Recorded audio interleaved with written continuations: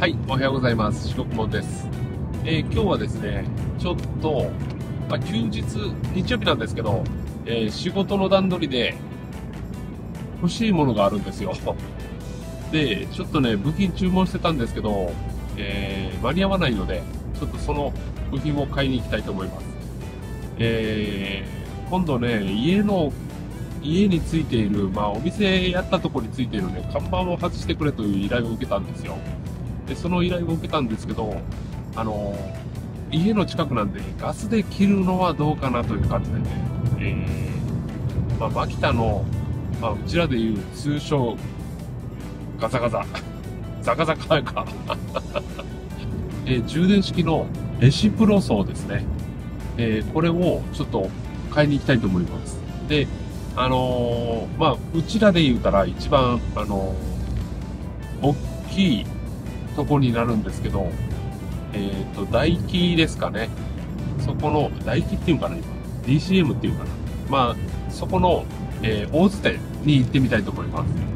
まあ、あの、一番品揃えが良くて、まあ、あのー一番大きなとこですね。そこやったらあるかもしれないんでね、そこに行ってみたいと思います。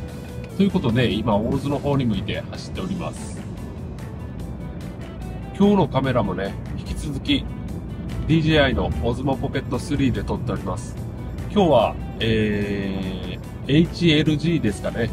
えー、10ビット撮影ができるんですけど、それを撮って帰って、それで撮って帰って、えー、編集してみようかなと思います。まあ、ドライブ動画ではドライブ動画なんですけど、まあこういう感じでね、撮れるよというのをね、やっていきたいと思います。いやー、ほんとね、使いやすい。オズモポケットが。GoPro とかもいいんですけど、こうやってね、えー、日常使いするんやったら、オズモポケット3かなと思いますね。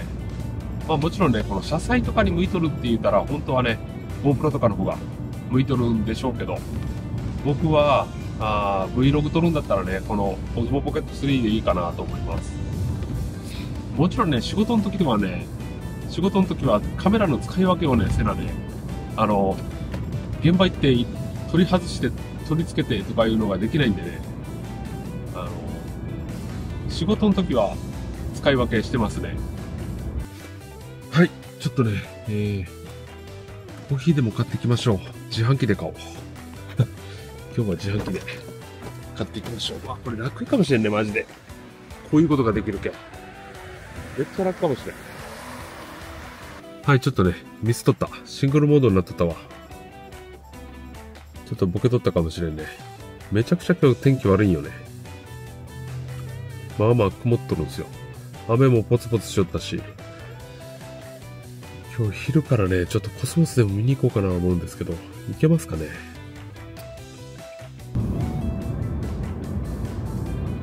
はい、それではね、大津に向かっていきましょう。なんかね、もう、神奈川ダムの貯水率がやばいことになってるらしいですね。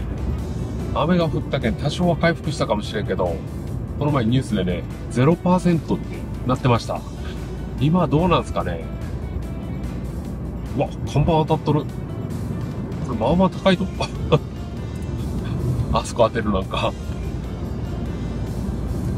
いや、雨がね、まとまった雨ほんと降らんかったですもんね。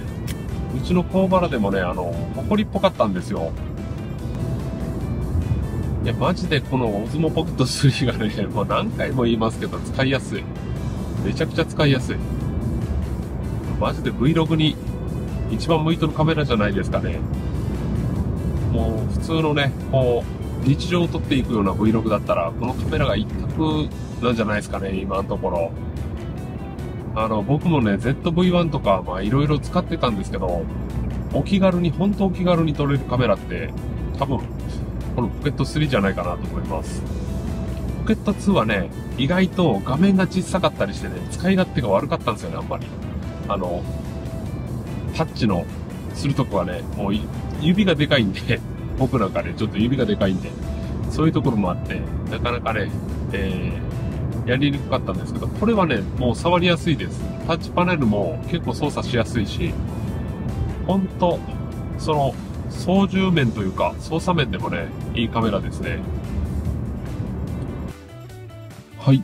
DCM 到着でございます。これ唾液じゃなくなっとんか、今。DCM になっとんか。それではね、えー、ちょっと、あるかどうか見ていきたいと思います。はい。欲しかったね、品物ありました。えっ、ー、と、これですね。これ、なん、なんて言ったらいいんやろ。か。レシプロ層の葉なんですけど、これ、まあ、うちのレシプロ層がマキタなんですけど、まあ、各メーカー合うやつなんでね。これを買ってきました。まあ、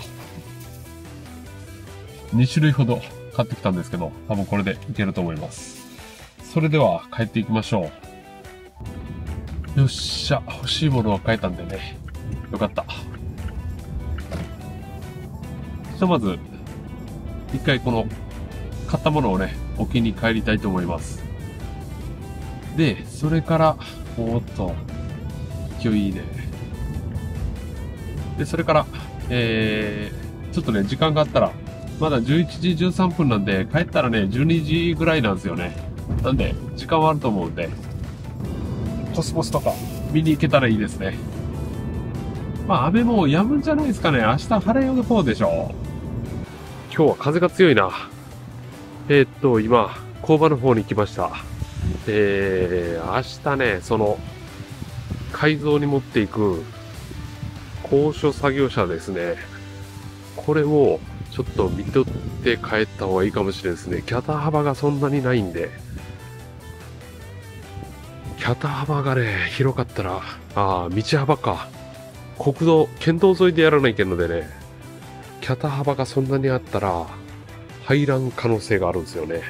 これ何番ある？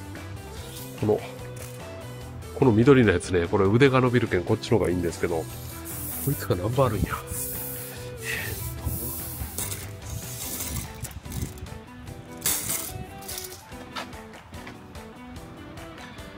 えー、っと、こいつが180ナンバーあるね。2メーター近くあるな。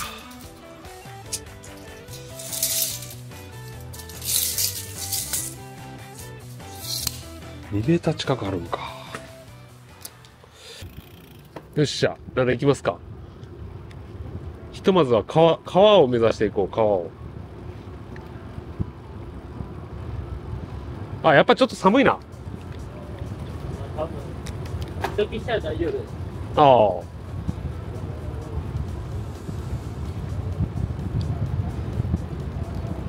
ちょっと思わん寒かったわ。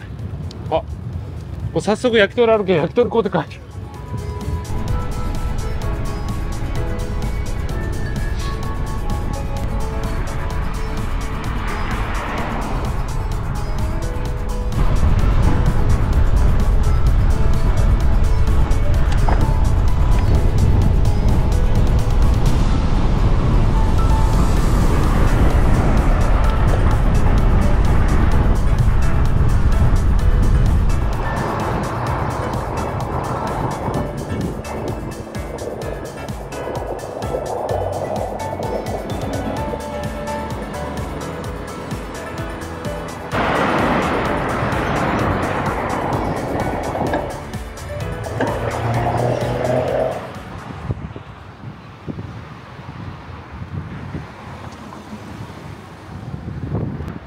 大津の市内から二見の道の駅まで来ましたね。えっとね、大津から長浜までの道はすげえ追い風やって、向かい、向かい風か。向かい風やったんですよ。全然スピードが上がらんかったんやけど。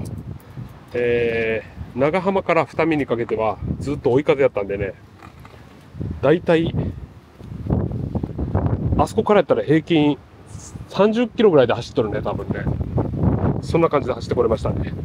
今日は二見の道の駅までにしたいと思います。なんせね、足パンパンなんで、今日はこの辺でやめときます。いや、こっち、あれしたらいいだけやろ。今日大丈夫。多分。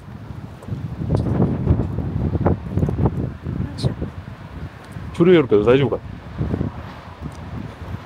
足カクカクなるんじゃないのね、やっぱり。歩かしたら。いや、俺。俺が。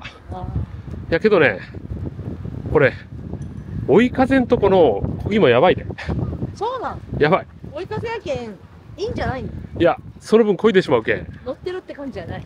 うん。その乗っ取るのがやばいね。やばい。あら。でもよかったのこれだけ。寒い。寒そう。こんなにケーキ取るんやけどな。雲がすごいね。ねえねえ。ぐっと下がるっていう。本当朝起きられるのかなああ。二見やったら、夕日とか綺麗なはずなんやけどね。今日は、あれやな。ダメかもしれんね。いやいや、このバイカーの人らがね、ここなんか聖地みたいになってることバイカー多いやろ。あの、二輪専用スペースがね、めちゃくちゃ多いことなの。あの、廃炉のとこ全部そうやろ。うん。いやそれだけ多いんだよ。